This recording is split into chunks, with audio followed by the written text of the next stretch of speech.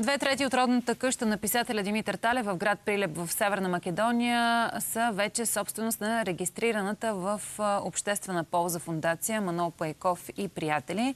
Този ход на фундацията идва в момент, когато българската държава също прави опити за придобиване на собствеността на емблематичната къща. Парите са отдарения, които бяха събрани миналата година. Захващаме с тази тема и ще се опитаме, уважаеми зрители, да ви подредим пъзела. Сюжетната линия не е толкова проста, но се надявам да проследим генезиса на проблема и всъщност защо толкова трудно се разрешава този проблем и всъщност собствеността на къщата, защо към момента вече не говорим, че е българска, а говорим само за две трети. А, гости в студиото са Виктор Стоянов от Фундация Македония, фундация, която също е дарител по отношение на случващото се с къщата на Димитър Талев. А на Вайбър от а, разстояние е Снежана Ачевска, която виждам, че вече е на пряката ни линия. Здравейте, госпожо Ачевска. Здравейте. Като бивш собственик на къщата на Димитър Талев ви представям. Радвам се, че приехте поканата ни и че ще вземете участие в този разговор, в който се надявам наистина да изясним какво точно се случва. Добра е новината. Винаги че съм на среща. Да. Добра е сякаш новината, че две трети от родната къща на писателя а, вече е българска собственост. Защо толкова трудно? Колко, от колко години всъщност е този казус? Добро утро на вас и на вашите да, зрители. Ще, ще си позволя да пренебрегнем да. дамата, за да започна първо с вас накратко да обясните. Казуса е от поне 10 години. Аз познавам казуса от 2015 а, до някъде беше затруднено движение по казуса и закупуване на къщата. Първо, докато беше на власт в Севера Македония, тогава Република Македония, Груевски и неговото правителство те дори пречеха на собственичката, вече бившата собственичка Снежана Аческа, да допуска българи в къщата, да им показва къщата. А, като втори фактор, а, който затрудняваше държавата, да го кажа, така? българската държава да купи къщата, беше споделената собственост. Но както с виждаме... Кого? С Северна Македония? С... А, не, споделената собственост на къщата. Двама собственици, както става ясно. Снежана ще обясни по-добре, но те не са и точно една трета. По-малко от една трета е собственост на други хора, които на други собственици, които поне до, до, до скоро не желаяха да продават. Въпреки, че аз съм разговарял с сина на собственичката, на другата А защо по-малка тя се част. руши тази къща? Ние виждаме кадрите. Ето. Тя се руши и част от нея се разруши. А, но сина на другата собственичка, на по-малката част, която си остава тяхна собственост, да. не е закупена от българи, от българска фундация, а, той желая да продаде къщата, така че рано или късно и, и този по-малък дял от къщата вероятно ще попадне в български ръце. Сега това е добра новина, но това е първа стъпка. За тези две трети, които вече са да, българска собственост. Това е само първа стъпка. Те първа а, трябва да се спаси къщата, т.е. тя трябва да бъде укрепена, трябва да бъде след това възстановена, трябва да се реши как ще се развива като културен център или като книжовен център, като къща музей на, на писателя. Да, тук в София си имаме много къщи музеи на, на наши български писатели. Ами той в Бистрица Явор... има къща, която е на писателя. Тя също е частна собственост. Да. Специално за Талев, говорейки. Определено е важно тази къща да остане като извор на българската култура в Прилеп и на на българската нация за напред. Добре. А, госпожо Ачевска, две неща откроявам аз а, като акцент в това, което ни каза господин Стоянов. Казусът е от две години, от времето на Груевски. Спомена и вашето име за това, че дори не се упражнява своеобразен натиск към вас да не а, пускате българи да, да разглеждат къщата, изобщо да ги да. запознавате с, с този за нас паметник на културата. А, и второ, втората причина този казус да продължава вече 10 години да съществува неразрешен е споделената собственост. Разкажете ни по тези две, две линии. Първо ми кажете за този натиск своеобразен, който вие самата сте изпитали на гърба си. Аз имах много през годините натиск. Направо заминахме от къщата не искам да споменявам такива неща. В 2013 аз бех оперирана с тежка операция и си напуснах. А, има моя мъж си напусна дядовата ми къща. Това е много тежко. Кой знае, може да ми повярва как сме се Защо 2013 напуснахте къщата? Какво се случи? Как, как ви накараха, принудиха да напуснете къщата? Знаете какво? В момента а, на мен ме е страх вече да говоря, че той човек, който не изгони, е вече свободен. И не знам какво може да се случи, че аз живея тук сам сама. Децата са ми в чужбина и съм сама. Моя син се връща в юли, да не съм сама повече, а, на някакъв начин да ме защити. Така да по тая, по тая тема наистина не искам, че е малко сложно. А, тук, въпреки всичко, тук няма политика, но интерес.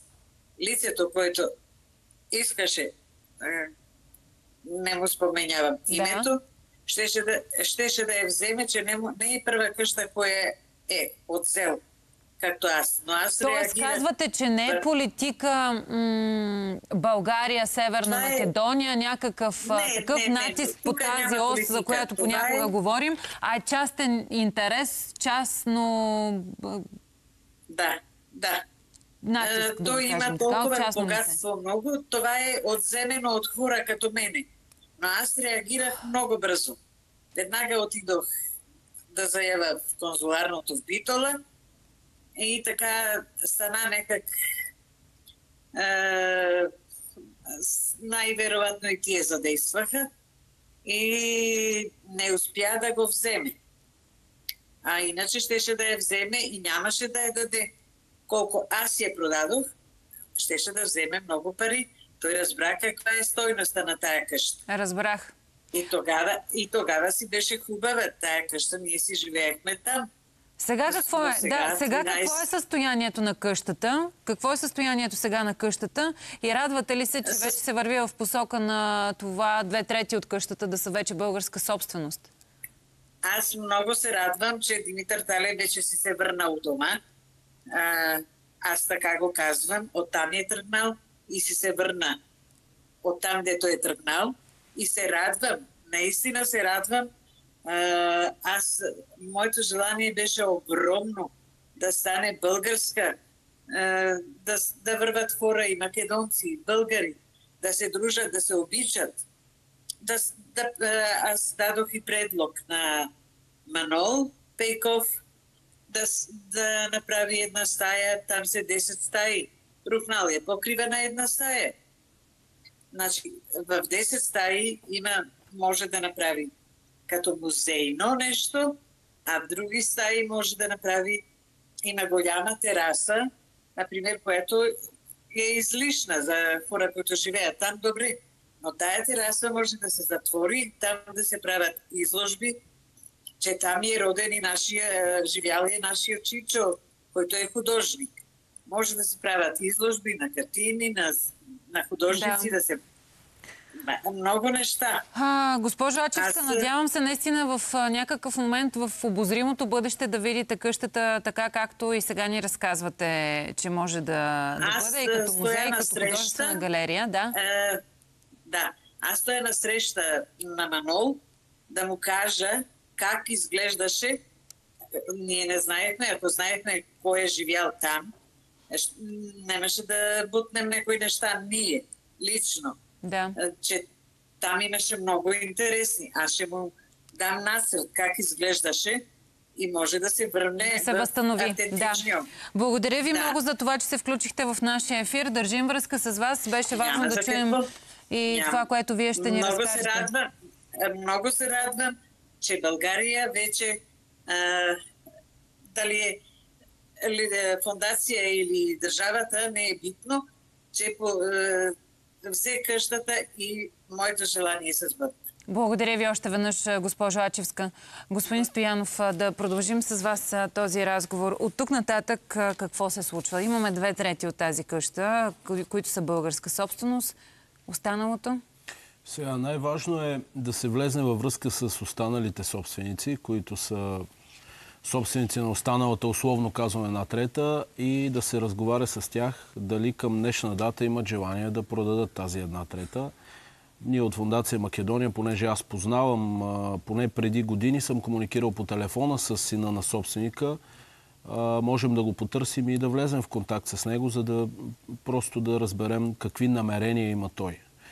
Той от дълги години живее в Австралия, няма намерения да се прибира в България, поне така беше преди 3 години, когато последно разговарях с него, така че е напълно възможно той да има пълното желание и воля да продаде а, този свой дял. Тъй като а, къщата няма да бъде пълноценен музей на Димитър Талев, на българската култура и литература, ако не е цялата комплектна, ако не е собственост на едно юридическо лице от България, което да я развива. А ако да кажем тази фундация, която закупи къщата с дарения на над 1500 българи, не желая да я дарява на Министерство на културата на България и не желая тя да е българска собственост, поне за такива подобни заявки да. бях чул.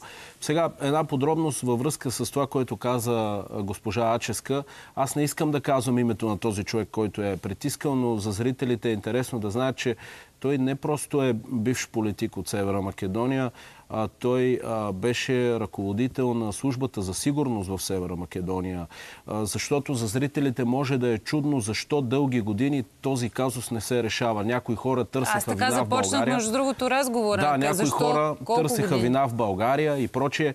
Напротив, в чужда държава не се, не се правят подобни неща лесно. Когато службата за сигурност там осъществява натиск върху собственика, не му позволява дори да допуска българи, как може да си представите, като туристи говорим българи, да. как може да си представите, че е лесно да се купи тази къща? Госпожа Ачевска каза, че това не е политика, а частно лице, частен ами... интерес. За вас обаче звучите ми по различен начин. Ами то е политика е преплетено. Това, това същото лице чрез политиката си постигаше и частни интереси. Но просто заради уважение към нея и нейната сигурност, не искам да му казвам името. Наистина той от няколко дни излезна от затвора, между другото. При няколко дни излезна от затвора в Севера Македония, но това е толкова по тая тема. Относно бъдещето на къща, сега вече си е отговорност на това юридическо лице, което е закупи издарение на 1000, над 1500 български граждани. Тяхна отговорност е да я укрепят, вече да, да, я, да я преведат във вид, в който да бъде спасена, а отговорност на цялото българско общество, на всички нас като българи, като заинтересовани лица от гледна точка на нашето културно-историческо наследство, на нашата а, а, историческа памет като народ, отговорност е а, да, да, как да кажа, да, да търсим чрез това юридическо лице реализация на български музеи там, било то на Талев, на българската литература. Тоест да, да продължим да се интересуваме от казуса и да помагаме доколкото ни позволяват силите за това да се реализира като музей. Не просто да се закупи, както е закупена сега две трети и така да остане или просто да се укрепи. В тази връзка е важно, както казах, и да се търси начин да се купи останалата част, за да бъде окомплектовано като е, единен музей и център на българската литература. Да, като някакъв комплекс. Да. А, добре, господин Стоянов, на финал сме на нашия разговор и наистина се изкушавам да ви попитам, а, с оглед на това, че се намираме в предизборна кампания, вие чувате ли политиците в момента да говорят а, с избирателите, да вдигат а, темата за отношенията между България и Северна Македония на дневен ред. И какво бихте искали да видите от българския парламент и новото правителство с условността, ако имаме и се стигне до такова редовно, след 9 юни? По, по, по, по този въпрос, по тази тема. Аз не виждам българските, основните политически партии да повдигат въпроса за двустранните отношения, като че ли Северна Македония не е на дневен ред в българската политика и в българската предизборна кампания. Това виждам аз. Не знам доколко това е грешка, тъй като топката е в полето на Севера Македония чисто геополитически и във връзка с тяхната евроинтеграция. Ние виждаме, че те проявяват нетърпимост и към тяхната политическа класа и към Преспанския договор с Гърция, проявяват едно системно вербално нарушение на договора. Какво остава за договора с нас и за исканията, които имплементирахме в така нареченото френско предложение. Така че може би до някъде е правилно, че темата не е основна, темата не е водеща в тукашната предизбора кампания. Какво искаме след изборите? тези хора като мен, които като общественици се занимаваме с темата, искаме политическите партии България по темата Северна Македония повече да бъдат държавници, отколкото политици и да взимат непопулярни решения, които не са популистски, които няма да им донесат гласове, но ще, но ще донесат дългосрочни ползи за сближаването между българи и македонци. Тъй като в Северна Македония има едно мислене на изолация те искат изо... политиците в Северна Македония искат изолация от България, защото това им помага да печелят те гласове. Нашите политици не трябва да се подават на, на тази провокация и не трябва да действат поли, а, популистски. Те трябва да търсят сближаване между българи и македонци. Има редица механизми, с които българската държава да ускори това сближаване. Само ще дам един пример. Българската Финал, държава да. може да финансира, да кажем, едни редовни и мащабни летни лагери между ученици от България и Северна Македония. Един единствен пример давам. Това не е толкова популистско решение. Не е като да кажеш Македония е... Нали... Да. Благодаря ви много, господин Стоянов. Изпращам ви на живо от студиото и ви чакам, между другото, отново в, в нашото студио. Оп, оп, оп, оп. Колега, ако обичате, да дойдете за помощ. Така, справихме Благодаря. се. Благодаря ви. А, и ви очаквам отново, защото те първо ще видим дали наистина политиците в България ще започнат да се грижат за, за тези отношения и ще направят последващите стъпки а, след това, което беше поставено като основа.